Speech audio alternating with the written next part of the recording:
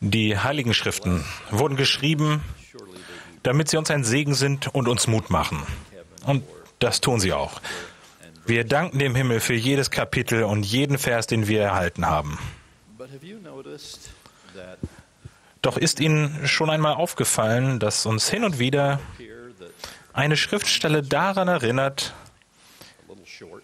dass wir den Erwartungen nicht so ganz gerecht werden? Beispielsweise beginnt die Bergpredigt mit wohltuenden, sanften Seligpreisungen.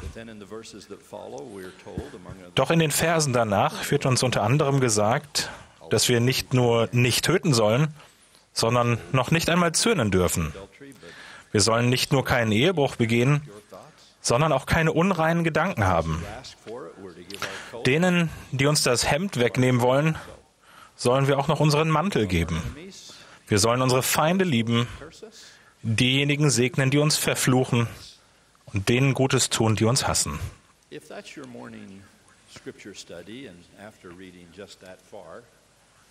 Wenn das Ihr Morgenstudium ist, dann äh, sind wir sicher, dass die Noten auf unserem, auf Ihrem Evangeliumsabschlusszeugnis nicht so rühmlich sein werden. Doch das letzte Gebot in dieser Liste gibt uns dann den Rest. Ihr sollt also vollkommen sein, wie es auch euer himmlischer Vater ist. Nach dieser letzten Aufforderung wollen wir nur noch ins Bett und uns die Decke über den Kopf ziehen. Solche celestialen Ziele erscheinen uns unerreichbar. Doch ganz gewiss hat der Herr uns kein Gebot gegeben, von dem er wusste, dass wir es nicht halten können. Sehen wir uns diese Zwickmühle einmal näher an. Überall in der Kirche höre ich viele über sich sagen, ich bin einfach nicht gut genug. Ich mache so viel falsch. Ich werde dem allen niemals gerecht. Ich höre das von Teenagern. Ich höre es von Missionaren. Ich höre es von Neubekehrten. Ich höre es von altgedienten Mitgliedern. Eine Schwester in der Kirche, Darla Isaacson, hat ganz richtig festgestellt, dass der Satan es irgendwie geschafft hat, Bündnisse und Gebote wie Flüche und Verdammnis aussehen zu lassen. Bei einigen Menschen hat er die Ideale und die Inspiration des Evangeliums in Selbstverachtung und einen Quell des Elends verkehrt.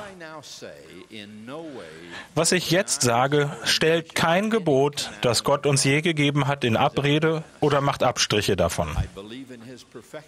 Ich glaube an Gottes Vollkommenheit und ich weiß, dass wir seine Geistsöhne und Töchter sind und das Potenzial in uns tragen, so zu werden wie er. Ich weiß auch, dass wir uns als Kinder Gottes nicht selbst verachten oder herabwürdigen dürfen. Als würde es uns irgendwie zu dem Menschen machen, der wir nach Gottes Willen einmal werden sollen, wenn wir uns kasteien. Nein.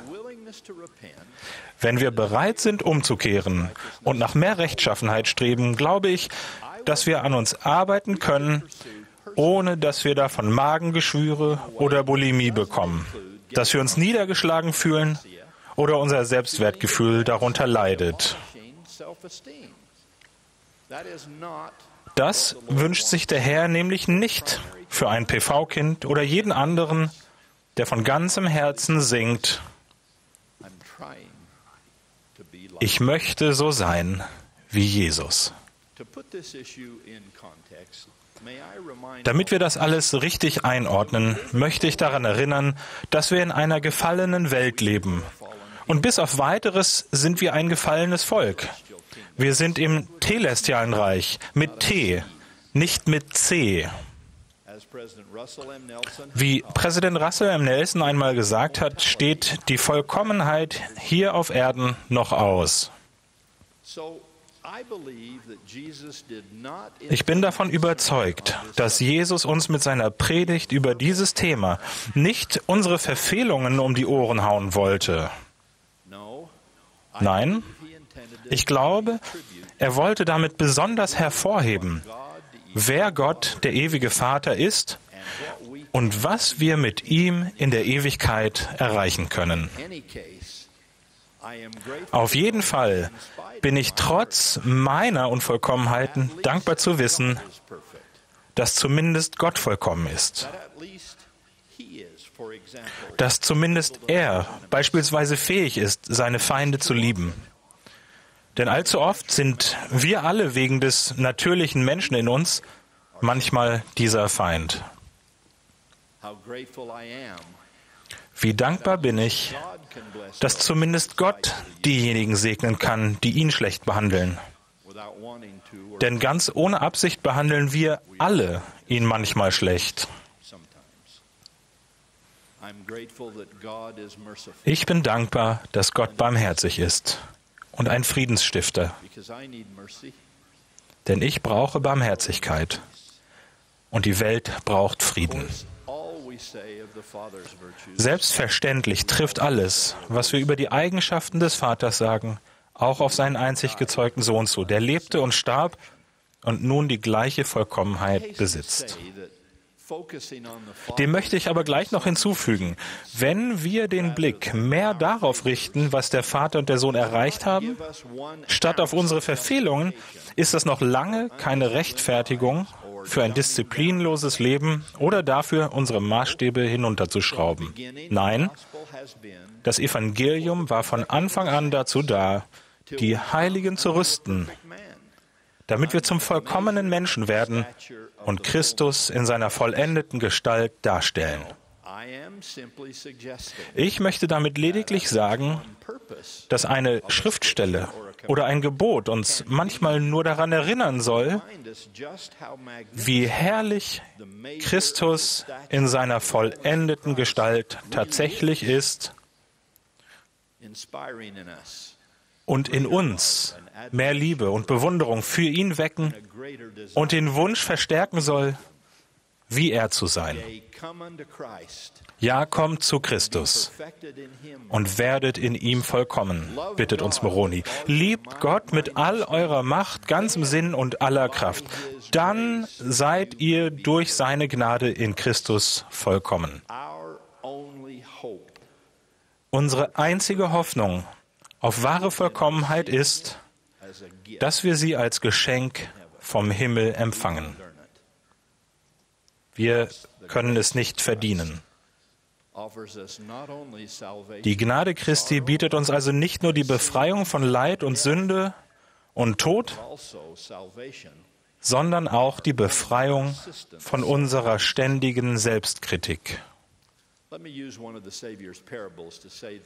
Lassen Sie mich dies anhand eines Gleichnisses des Erlösers noch ein wenig anders erläutern. Ein Diener schuldete seinem König 10.000 Talente. Als der Herr hörte, wie der Diener ihn um Geduld und Barmherzigkeit anflehte, hatte er Mitleid mit dem Diener und schenkte ihm die Schuld. Doch dann weigerte sich eben dieser Diener einem anderen, die hundert Denare, die dieser ihm schuldete, zu erlassen. Als der König das hörte, warf er dem ersten Diener vor, hättest nicht auch du mit jenem, der gemeinsam mit dir in meinem Dienst steht, Erbarmen haben müssen, so wie ich mit dir Erbarmen hatte? Unter Fachleuten ist man sich nicht ganz einig, wie viel die hier genannten Beträge wert waren. Und vergeben Sie mir bitte die, den Bezug zur US-Währung hier. Aber nehmen wir der Einfachheit halber an, die 100 Denare, die nicht erlassen wurden, wären heute 100 Dollar wert. Dann entsprächen die 10.000 Talente, die so großzügig erlassen wurden, etwa einer Milliarde Dollar oder mehr. Für Privatschulden ist das ein astronomischer Betrag, völlig jenseits unseres Vorstellungsvermögens. Und niemand kann für so viel einkaufen gehen. Aber bei diesem Gleichnis soll der Betrag ja unvorstellbar sein. Er soll jenseits unseres Vorstellungsvermögens liegen. Von unserer Fähigkeit, ihn zu bezahlen, ganz zu schweigen. Das liegt daran, dass da keine Geschichte über zwei streitende Diener im Neuen Testament steht. Die Geschichte handelt von uns, der gefallenen Menschheit. Wir alle sind sterbliche Schuldner, Übertreter und Gefangene. Wir alle sind Schuldner und der Schuldspruch für uns alle lautet Gefängnis. Dort wären wir auch alle geblieben, wäre unser König nicht so gnädig gewesen, uns freizulassen, weil er uns liebt und von Mitleid mit uns bewegt ist. Jesus nennt hier einen unermesslichen Betrag, weil sein Sühnopfer ein unermessliches Geschenk ist, das für einen unvorstellbaren Preis erkauft wurde. Das scheint mir zumindest teilweise hinter der Aufforderung Jesu zu stehen, vollkommen zu sein. Wir mögen noch nicht in der Lage sein, die 10.000 Talente Vollkommenheit an den Tag zu legen, die der Vater und der Sohn erreicht haben.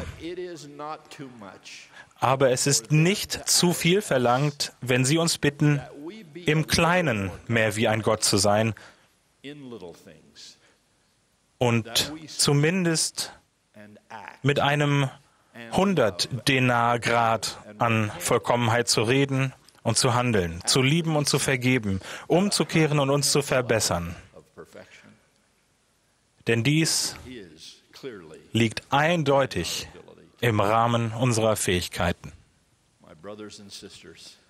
Meine Brüder und Schwestern, abgesehen von Jesus hat niemand diese Reise durchs Erdenleben, die wir gerade durchlaufen, fehlerfrei gemeistert.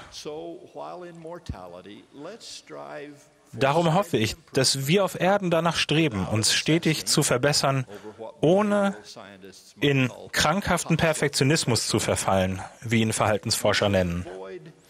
Einen solchen Anspruch sollten wir weder an uns selbst noch an andere stellen. Und so möchte ich hinzufügen, auch nicht an diejenigen, die berufen sind, in der Kirche zu dienen. Und das ist bei uns Heiligen der letzten Tagen jeder. Denn wir alle sind irgendwo zu dienen berufen.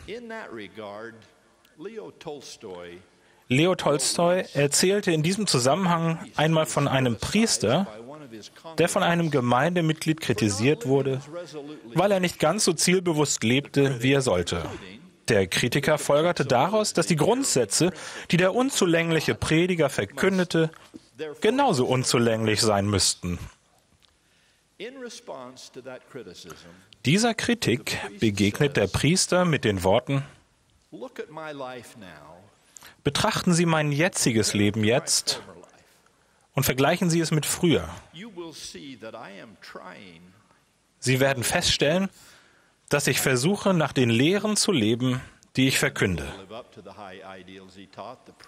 Da der Priester den hohen Maßstäben, die er verkündet, nicht gerecht werden kann, gibt er zu, dass er versagt hat. Doch dann sagt er, greifen Sie mich an, wenn Sie wollen. Das tue ich auch. Aber greifen Sie nicht den Weg an, den ich beschreite. Wenn ich den Weg heimwärts kenne, ihn jedoch trunken gehe, wird er dadurch weniger richtig, nur weil ich hin und her taumele? Rufen Sie nicht händereibend, seht ihn euch an, da verkriecht er sich in seinem Sumpf. Nein, seien Sie nicht schadenfroh. Helfen Sie mir lieber, wenn ich versuche, den Weg zurück zu Gott zu gehen. Brüder und Schwestern, jeder von uns strebt danach, ein christlicheres Leben zu führen, als er es oftmals zustande bringt. Wenn wir dies ehrlich eingestehen und uns Mühe geben, uns zu verbessern, sind wir nicht Scheinheilige, sondern Menschen. Lassen wir nicht zu, dass unsere eigenen Dummheiten hier auf Erden und die unvermeidlichen Fehler selbst der Besten in unserem Umfeld uns zu Zynikern machen. Was die Wahrheiten des Evangeliums oder die Hoffnung für unsere Zukunft oder die Möglichkeit wahrer Frömmigkeit anbelangt. Wenn wir uns beharrlich weiter bemühen, wird irgendwann in der Ewigkeit unsere Läuterung abgeschlossen und vervollständigt. Und das ist im Neuen Testament mit Vollkommenheit gemeint. Ich gebe Zeugnis für diese großartige Bestimmung, die uns durch das Sühnopfer des Herrn Jesus Christus zugänglich gemacht wurde. Er selbst ging von Gnade zu Gnade, bis er in seiner Unsterblichkeit eine vollkommene Fülle celestiale Herrlichkeit empfing. Ich gebe Zeugnis, dass er uns jetzt und jederzeit mit seinen von Nägeln gezeichneten Händen eben diese Gnade gewährt. Er steht uns bei und macht uns Mut, bis wir eines Tages sicher zu Hause angekommen sind und von unseren himmlischen Eltern in die Arme geschlossen werden. Diesem vollkommenen Augenblick strebe ich alle Tage entgegen, wenn auch nur unbeholfen. Für dieses vollkommene Geschenk bin ich alle Tage dankbar, wenn auch nur unzulänglich. Dies tue ich im Namen der Vollkommenheit selbst, im Namen dessen, der niemals unbeholfen oder unzulänglich war und der doch alle liebt, die es sind. Ja, im Namen des Herrn Jesus Christus. Amen.